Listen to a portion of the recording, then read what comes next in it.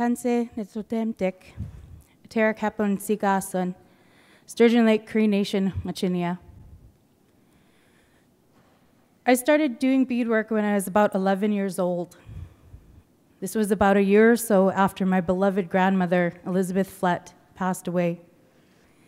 Before she passed, I had promised her I would learn to bead. So, still grieving and missing her deeply, I had sat myself down and started beading. To honor my promise to her, I had turned to my memories of watching my now late grandmother, Mary Kappo. From time to time, I used to stand by her side, observing as she sat quietly beading. While part of me was fascinated by the beads and the work she was doing, mostly I would take those moments in between my playtime simply because I loved to be near her. I had no idea then that she was teaching me beading by example but it would be from those silent lessons and the practice that followed that I would learn how to bead, as I had promised my Granny Flett. What I quickly discovered in my practice was a profound joy. There, in the time and space where I was beading, I could feel my Granny Flett was with me. And in that time and space where I was beading, I could also hold my Gran, Mary, close, though at that time we lived far apart.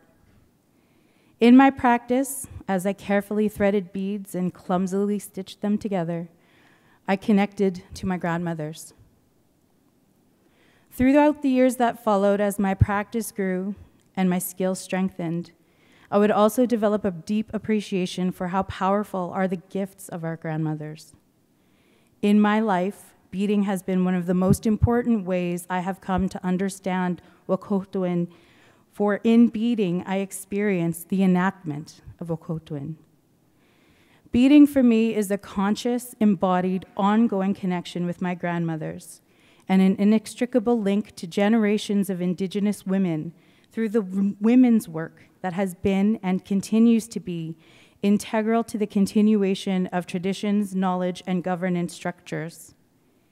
Beading is a practice of honoring my Granny Flett, a woman who was not related to me by blood, but became my grandmother through the enactment of Wahkohtowin, through understanding and practicing relatedness in an expansive way.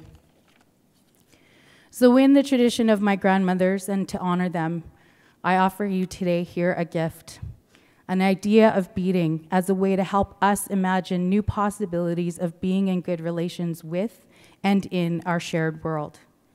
This is a perspective that is becoming more clearly into focus for me over the past few years as I have been exploring more closely the ways in which beading is a practice of Wahkohtowin.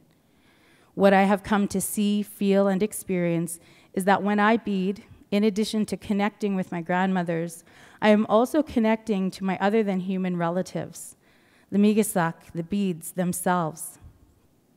This has emerged from my understanding of a Cree ontology through which I recognize beads as other than human relatives, and beading as how I have a relationship with those relatives.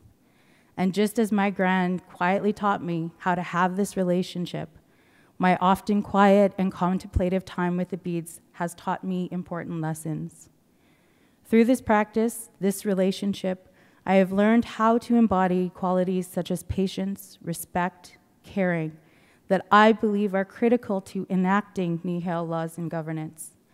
I believe the recognition of beadwork as a form of other than human kin, in line with Nehiyaw or Cree thought, reminds us that we are all related to everything in creation and can help us practice respectful, caring relationships with all of our kin.